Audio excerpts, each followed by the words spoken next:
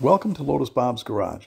I went to visit the car today to see what the progress was and took some photos that I did a little color correction. A lot of people have asked me, what is the real color of the car? It just doesn't look quite right in the light with dust and whatnot on it.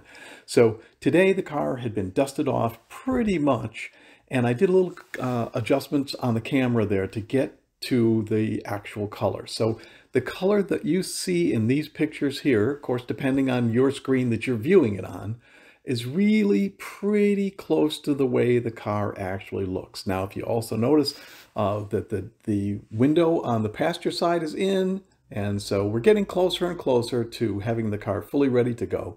Thanks a lot. See you around.